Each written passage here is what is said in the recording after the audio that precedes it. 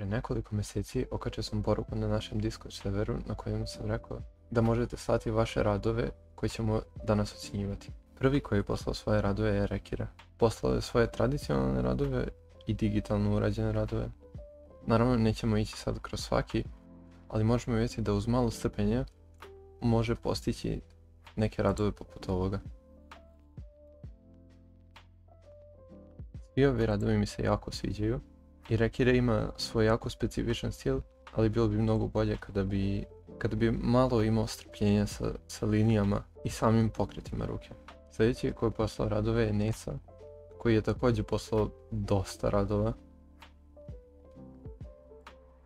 I definitivno mogu reći da su odlični. Pogotovo ovaj Gear 5 Luffy mi se jako svidao. Necino senčenje je pogotovo specijalno.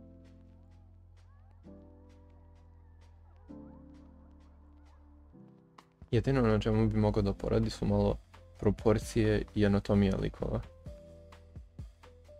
Ali sve u svemu radovi su 9 od 10. Sljedeći koji nam šalje crteže je Faust, kog poznajem već duže vreme i zaista ima jako lep, lep art style. Iako bi on također mogao da poradi malo na anatomiji i proporcijama likova. Neca je jednostavno GOAT bojenja. Sljedeći je Aoyama koji je poslao jako lepe radove. Jako dobro mu ide ovaj manhwa stil, iako je sve radio samo olovkom. Sve u svemu 8 od 10.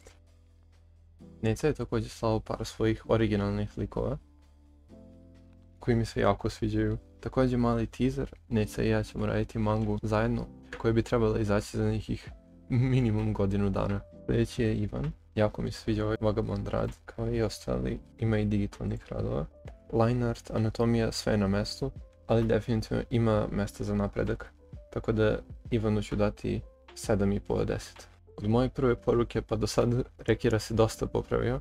Ovaj rad je nastao kada je Ozu postao VTuber i jako mi se sviđa. Sljedeće je Maki koji ima jako specifičan stil, ali prelep, nekako semi-realističan i naravno malo filthy Franka. Bukvalno savršena anatomija ruku. Maki od mene dobije jako devetku.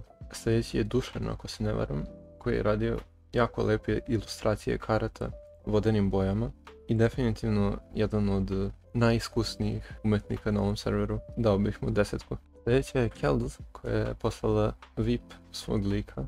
Kao i uvek Kelz ima najclean line art koji sam ikad video. Pretpostavljam da je ovo lik za njenu mangu. Sve u svemu još jedna desetka.